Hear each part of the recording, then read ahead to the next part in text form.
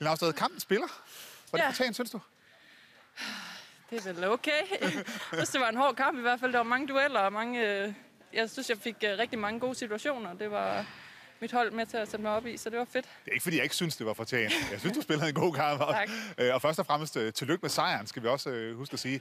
Det holdt lidt hårdt, synes jeg. I lukker ind synes flere jeg. gange. Ja, det synes jeg faktisk på vores egen fejl.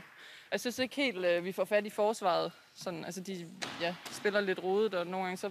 Jeg ved ikke helt, hvad vi laver indimellem, men... Øh, fedt, at vi får en sejr, og vi vidste også godt, at det ville blive en hård kamp, for begge hold vil gerne løbe, så der er mange mål igen. Skal du hjem og kigge lidt på stillingen nu? Ja, det er lidt sjovt i hvert fald.